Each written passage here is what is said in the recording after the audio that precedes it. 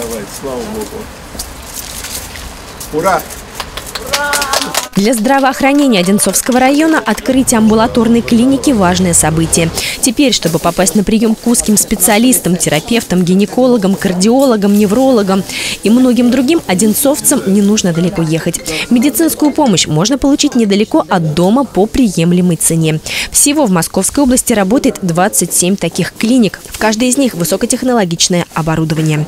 Если открытие клиники – событие районного масштаба, то открытие в клиническом госпитале Лапина отделение рентген-эндоваскулярных методов диагностики и лечения всероссийского. Приемное отделение – это дверь, откуда будет поступать на скорую помощь пациенты. И первая дверь, которая у нас сейчас откроется на как раз дверь операционной. Здесь длина лучшая логистика, минимальная, и рядом находится реанимационная палата. Я надеюсь, что многие воспользуются.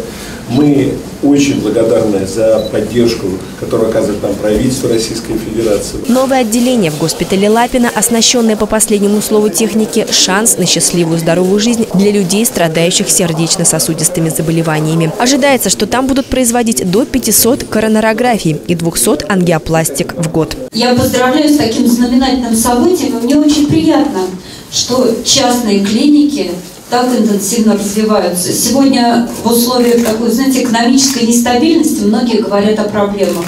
Тем приятнее отмечать такие серьезные инвестиции в одну из важнейших отраслей нашей жизни – здравоохранение. И мне очень приятно, что эти инвестиции реализует клиника, которая по праву считается одной из лучших в российском здравоохранении – клиника «Мать и дитя». Вы решили двигаться дальше, нам это очень нравится.